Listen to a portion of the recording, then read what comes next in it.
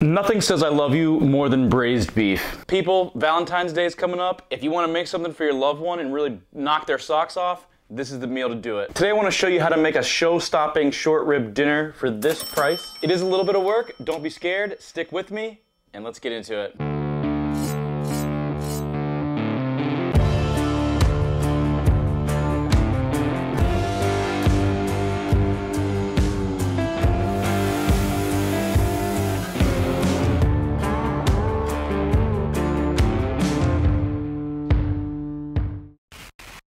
What's up guys? Welcome back to another episode of Dishes and Fishes where I show you how to cook and set hooks. Today's dish will be one of the best recipes on my channel. I'm actually getting married this September and it's time for your boy to slim down. So the best diet for me is a low carb diet. And because I'm trying to diet a little bit, I imagine the content on my channel for the next few months will have a lot of low carb recipes.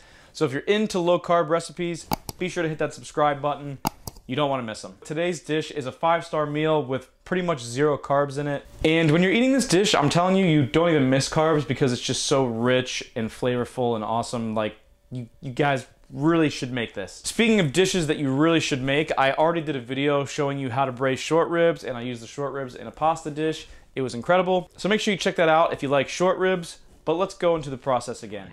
So if you're gonna make this dish at home, I created a little prep list here to help you out. I'm going to show you guys how to do every task listed in this video, but I would go ahead and screenshot this for reference if you decide to tackle this in your own kitchen. The day one tasks we're going to break down over the first half of the video approximately, and the day two tasks we're going to break down over the second half of the video. So let's do it. Okay guys, so you can use either short ribs or beef ribs for this recipe. These are beef ribs, they're a little bit longer than short ribs, and I think presentation wise they look a little bit cooler. They're also cheaper. Treat them both the same. No matter which beef you use, you're going to generously season both sides with salt and pepper.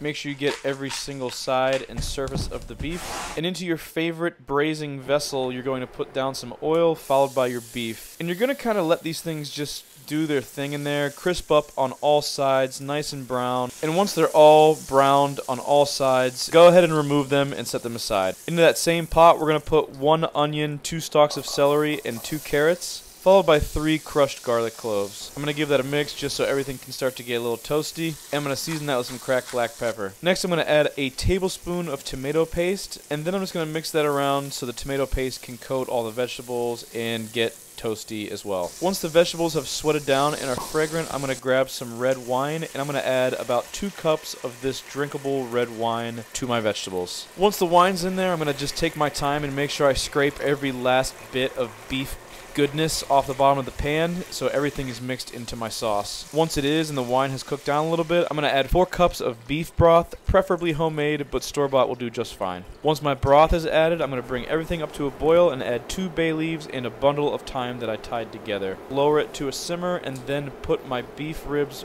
back in nice and gently. And then I'm going to put the lid on that and tuck it in and let that simmer on the stove for about 2 hours over low heat while I do the other stuff.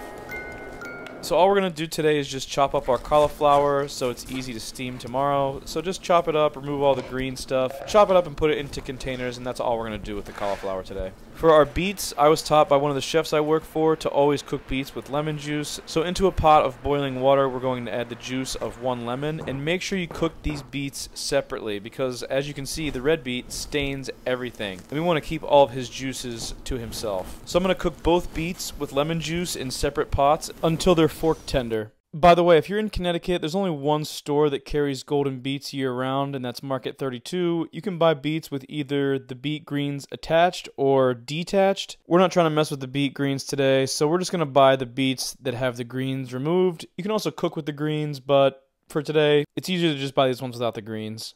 So Market 32 is the grocery store that carries these golden beets. So back to the kitchen. Once my beets are fork tender, I'm going to put each of them into their own ice bath. Once these are cool enough to handle, I'm going to just rub them with my thumb and get all the peels off. You should be able to get most of the peels of both beets off with just your thumbs, but there may be parts that won't come off, so just use a paring knife. You want to use the knife sparingly because you want to preserve the nice round shape of the beets. Once they're all peeled and cooled, we're going to go ahead and cut those down. So you're going to slice these pretty thin, like maybe two quarters thickness, I guess. And the golden beet is really an underappreciated, beautiful vegetable, if I do say so myself. Here's just another view of the thickness of the golden beets, how I was slicing them. You can see we're doing this pretty thin, so go ahead and cut up all those beets into slices, both the golden beet and the red beet, and then we're going to set those into separate containers, just like we did the cauliflower. So we're going to serve crispy shallots on top of this meal. So on day one, you're just going to remove the ends of the shallot and peel them. And I'm using a mandolin. You can also use a knife if you want to, but the mandolin is just way more consistent and fast. I'm going to cut rings in the shallots, being sure not to slice my finger on the mandolin. And then I'm going to set all those nice shallot rings into a container with the rest of my stuff. Those shallot ends right there, I'm just going to throw into the bubble bath with my beef ribs. Another garnish for the meal is horseradish goat cheese. This little nub was like 30 cents at the grocery store. So to my six ounces ounces of goat cheese. I'm going to grate in one to two tablespoons of fresh horseradish. Mix that in together, and that's going to be our horseradish goat cheese. One final little touch for the dish is clarified butter. So I'm going to start by bringing four sticks of butter to a simmer. If you're taking the time to clarify butter, you want to go ahead and do a lot of it. This is just a four pack from Costco. And I'm going to let that bubble for about 10 minutes so the water can evaporate. After that happens, you'll be left with this layer of milk solids on the top of the butter. I'm going to skim that off with a spoon, and whatever's left, I'm going to run through a cheesecloth and a strainer. The cheesecloth I folded over itself like six times. The cheesecloth and strainer should catch the milk solids and you'll be left with clarified butter on the bottom. If you are an overachiever, you can run that through a coffee filter and get the most bang for your buck. But that's going to take an hour or so, just so you know, but it's definitely worth it if you have time to just let it kind of do its thing on the counter. And you want to keep clarified butter in your fridge if you can. Has a higher smoke point than regular butter. Is an awesome oil to cook with. But my favorite way to eat it is on vegetables, which is what we're going to do in this video.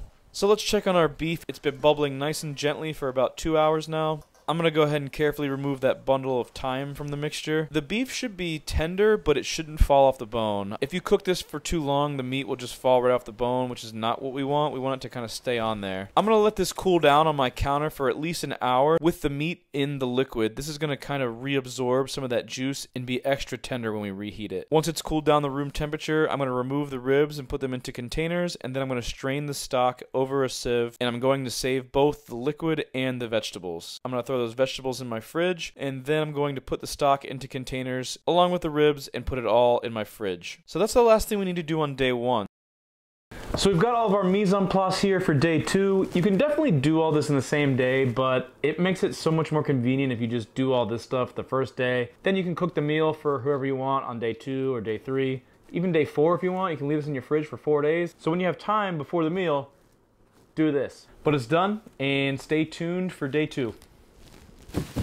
So it's time to serve this meal. You can see my stock has congealed and I have a nice fat layer on the top of it. So the first thing we're going to do is just take a spoon and remove that fat layer. You can fry eggs in that. You can use it to make roux and soups and sauces. You can use it just like you would any other saturated fat. So keep that in the fridge. That's low-key liquid gold there, or I guess solid gold. Now we're going to take all that delicious beef broth and put it into a pan and begin to reduce it down. Once it's starting to reduce a little bit, we're going to put our ribs back in, keep it on low, put a lid over it, and you're going to let that reheat for 15 15 to 20 minutes. While those are reheating, we're going to get our cauliflower steamed off. So I'm going to put my florets over a steam bath, put a lid on it until they're fork tender.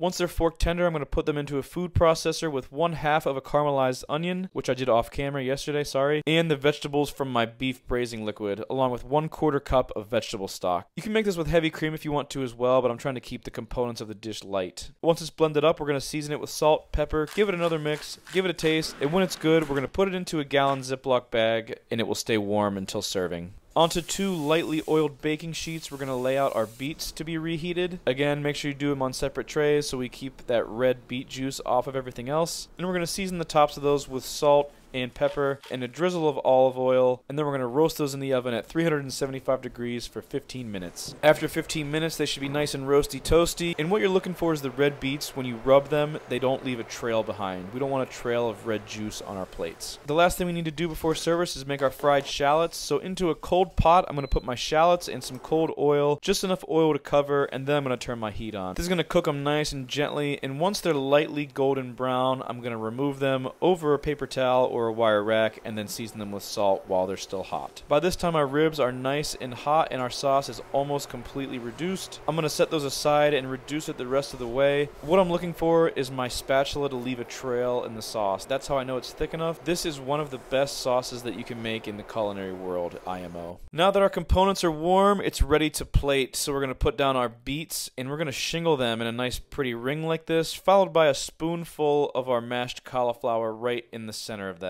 I'm going to gently set my beef rib on top of the cauliflower, followed by that delicious rich beef pan sauce. Next, our crispy shallots on top of the beef, followed by the horseradish goat cheese crumble on top of the beets. Next for the beets, we're going to drizzle on the clarified butter. This is a small touch that makes those beets some of the best beets that you can eat. Lastly, we're going to garnish the beets with something green. I'm using chives here. You could also use basil if you wanted to. And that's it, guys. Honestly, probably the best looking dish I've made on my channel to date. And also, my fiance said this is one of the best foods I've cooked for her in about four years. And I've cooked her a lot of food. So if that doesn't tell you that you need to make this dish, I don't know what will. So make it for yourself, make it for a loved one. Whoever eats this dish will love it. And if they tell you otherwise, they are lying.